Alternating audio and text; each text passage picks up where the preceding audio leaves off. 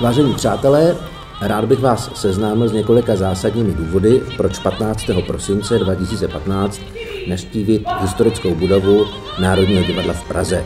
Hostuje zde totiž soubor opery Národního divadla Moravskosleského s nastudováním opery Bohuslava Martinů Tři přání a nebo vrtkavosti života. Je to pozoruhodné dílo kombinující operu a film, s jazzovými prvky. Je to jedna z největších jazzových kompozicí Bohuslava Martinů, ale zároveň jedním z jeho největších scénických experimentů. Jsme jediným divadlem na světě, které tuto operu, která v Praze dosud nezazněla v kompletní verzi, hraje. V orchestru nás čeká řada neobvyklých nástrojů, flexaton, banjo, solový klavír, harmonika. Když přijdete, určitě nebudete litovat.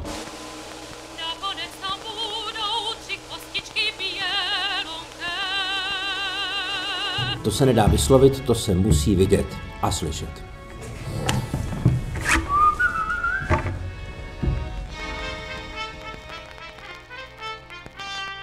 Předat, předat, předat, předat, předat, předat, předat, předat, předat, předat, předat, předat, předat, předat, před.